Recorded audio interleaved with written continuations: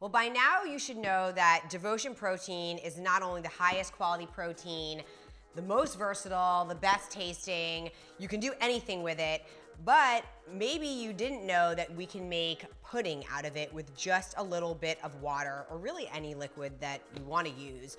So one of our most simple recipes is a bowl of oatmeal in the morning is like a great way to start.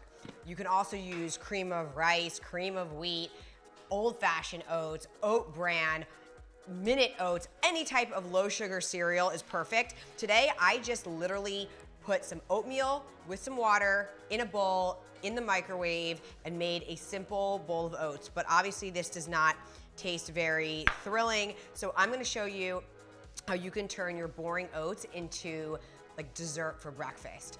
So I'm going to use mocha java chip right now. Sweet potato pie does the same exact thing as do all of our other proteins. Although I would not suggest buttery blend for a pudding over oatmeal in the morning. It's just not sweet enough. It's really perfect for our savory creations and our buttery crumble. So all you have to do is take one scoop of mocha java chip and typically it's about a quarter cup of water um, you may wanna eyeball it though if you want a thicker pudding, it just depends. So don't go all in at once because the protein really does absorb the liquid rather quickly and it goes a long way. So there we go. This is what the, the pudding is already looking like and it's not even a quarter cup. And then all, and there he goes. How easy is that? It makes a really great pudding.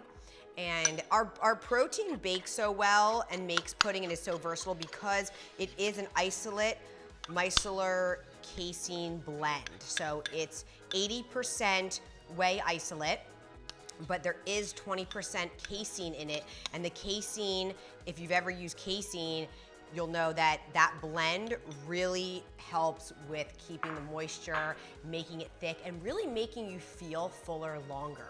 So there it is, one of my favorite ways to start the day. If you follow me on social media, you see this is basically what I do almost every morning of my life, especially if you're in a rush. This is a super fast recipe. So that's it. And it'll take your oats to a next, the next level.